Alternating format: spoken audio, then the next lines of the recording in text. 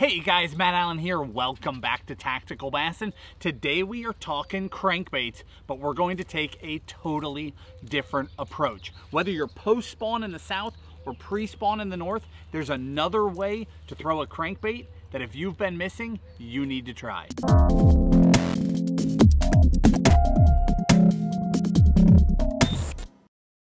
All right guys, today we are talking about speed cranking. If you guys were paying attention when we came out with our crank late last fall, you've heard this information. And if you followed through, you got some baits, you got some gear, you're actually completely prepared and you can go take advantage of it again right now. For the guys that aren't familiar with speed cranking, I'm about to break it down for you and I'm gonna give you a handful of baits. Whether you're a largemouth guy, a smallmouth guy, no matter where you are in the spawn cycle, this is something that you can be taking advantage of. So let's talk about the guys in the south that are the farthest ahead because some of this information for you is almost gone. You guys are full blown headed into summer. Post spawn guys, I'm gonna make this so easy for you.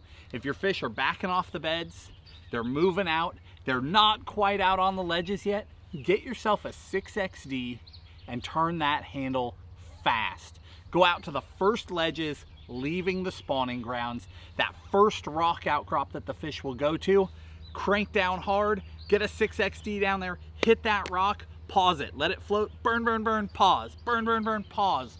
If the fish are there, you'll get them. And if you get one, go somewhere else and repeat it until you've got a pattern and just continue to do that. And you can follow the fish with that until they arrive at their true summertime haunts. Summertime is a different animal with different baits and we'll get to that. That's not today's video. That's enough to get you through. Just get a 6XD and go catch them. For you other guys that aren't that far along, some of you guys up north are full-blown pre-spawn. Some are kind of mixed. Some guys are fishing all three categories right now, pre-spawn and post. For the rest of you, there are some different things you can do. Let's talk smallmouth. Smallmouth, pre-spawn, by the time you're allowed to get on the water, in a lot of places, there's already a wave of fish that are shallow and they're aggressive and they're feeding. And a square bill is an awesome way to catch those fish, much like you would a largemouth a couple of months ago. Couple different square bills for you. Depends on what the fish want. I mean, you could just get a little strike king and just go to work. If your fish are up there in two, three foot of water, just throw that thing up there, burn, burn, burn, pause, burn, burn, burn, pause. We like to go no rattle on the smallmouth. Now, I say that because most smallmouth fisheries are clear, not all. If you're that guy that's on a muddy water smallmouth fishery, you know that. Treat it more like a largemouth fishery. Throw rattles, throw really bold colors, Let's go back to the average guy, the clear water smallmouth guy. Something like that little Strike King, a BDS 3, a Lucky Craft, longer, thinner profile, a little bit tighter action. That thing you can get going so fast with. All these baits, again, seven to one reel. I wanna focus on the speed part of speed cranking. This is not going down the bank, slow rolling crankbaits, banging into things. Not what we're talking about. I'm talking about throw it out, crank until you're sweating. Throw, crank, crank, crank. Second you hit something, stop. Crank, crank, crank, pause. Crank, crank, crank, pause. As fast as you can go. The bites are vicious. One of two things will happen. One, the fish will catch that bait head on or from the side and it will feel like a freight train. Two, they'll come up behind it on the pause so fast that they'll knock feet of slack into your line. Does that sound like fun? Feet of slack. I'm not joking. You'll crank, crank, crank, pause, and when you go to crank again, there's nothing there. And you crank, crank, crank, crank, crank, crank, hook set, and just try to catch up to those fish.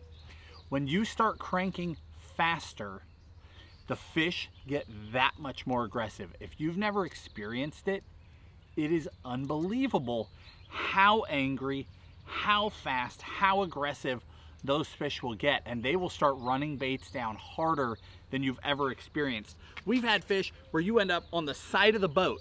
You're cranking, cranking, cranking, you get up to the boat and there's a fish behind it. We're doing figure eights.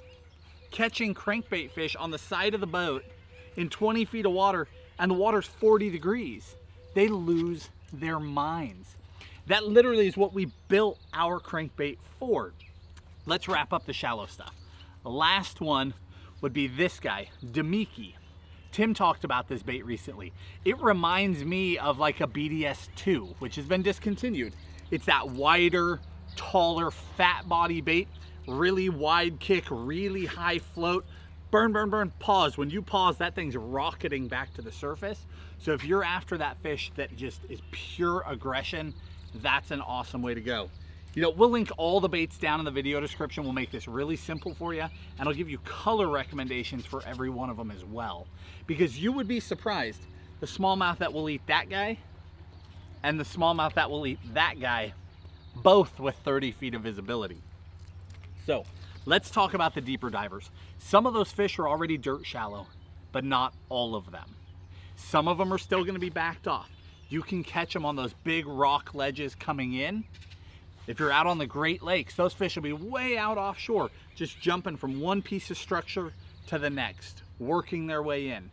If you're a largemouth guy, you can back up to some of our earlier videos this year. We've already talked about exactly where these fish are, where they're going. It's easy to catch up to them. But these tighter action baits that you can really speed up and burn will do great things for you. So, our crankbait which is still not available in all the colors. And we apologize, but this has been a crazy year. Demand on these things was mind-boggling. It was so much more than we ever expected. Obviously, the virus shut the entire world down. Nobody could have foreseen that. So some of the colors are still not available, but some of them are totally available. But we designed our crankbait tighter action for high-speed fishing. See, a wide wobbling crank if you're trying to get that on a seven to one or an eight to one and just haul, that bait will drag so hard against you, it'll destroy your arm in minutes. But if you get tighter action, those baits that'll just shimmy, almost like a, like you would think a lipless, where you could just burn that thing all day long. Some of these crankbaits are tighter like that, and you can burn them and it won't wear you out. So our crankbait, if the fish are still out deeper, this will reach the deepest out of those tighter cranks. The next one up from that would be a Megabass. Deep-X 300 fits the bill perfectly. The 300, whether you want a natural color like an MB Gizzard or an aggressive color, you know, a see-through chartreuse or just a true matte, bright, bold chartreuse. Try them all because you will be amazed. There are some days in that clear water that they only want that ghost natural look. But there are days where they will blast chartreuse in that bright blue sky, slick calm, clear water. They don't care. When it's flying by, they just react and they just go for it. So again, next up from that would be that Deep-X 300. You know, you're fishing really effectively at high speed down to say 12 or 13 feet comfortably. Beyond that, I would definitely go to our crank where you can reach out there deeper. Shallower than that and budget friendly, we get into these three.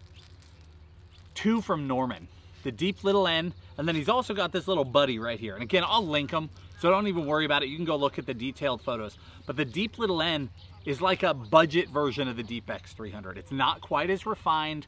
The colors are not quite as impressive. You definitely need to upgrade your hardware but the bait will burn and it will catch them. Be prepared to tune it. You know, we've talked about how to do that. If you've missed it, I'll link it down in the video description if I can find our video where we've talked about it. But the short version is if it's leaning this way, you take a pair of pliers, grab the eyelet, and just barely go the opposite direction. If it's leaning this way, you tip it that way. But just a fraction. It's really easy to overdo it and then it'll go all the other way and just spin. If you do that, bring it back. Do it in little increments, but you can get these guys, even cheap crankbaits, to tune so well that at full speed they run perfect.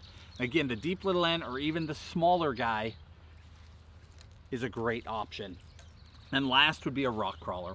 You know, that rock crawler will hunt and dig and bang on the bottom, bounce off the rocks, deflect, and you can go really, really fast with it.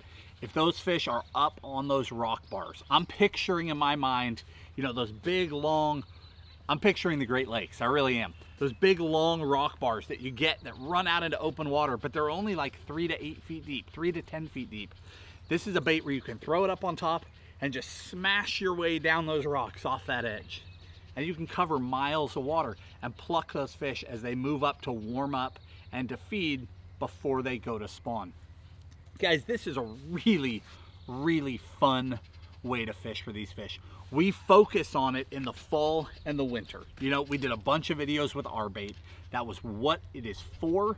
But in the north, that bite goes almost the entire summer until you start getting that slime and that muck that starts catching your crankbaits and slowing them down. As long as you've got hard cover to bounce off of, that bite exists. You can burn these baits and get reactions out of those fish. Now, as far as gear, it's the same exact stuff that we were talking about in the fall. You know, an 845 is an option, awesome option. That's a seven footer, a 906, which is a seven and a half footer. Both are great options depending on whether you prefer to throw fluorocarbon or you prefer braid to leader. One thing on that, if you prefer that hard stop and start. If you notice that your fish are really aggressive and are reacting well on the pause, most of your bites come on the pause.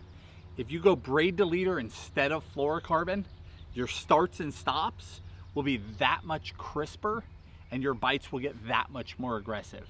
If you notice that most of your bites are coming just on the straight burn, stick with fluoro because your starts and stops will be a little more exaggerated because that fluoro's got a little give to it. So when you stop, that bait will still pull a little bit as that line is coming back.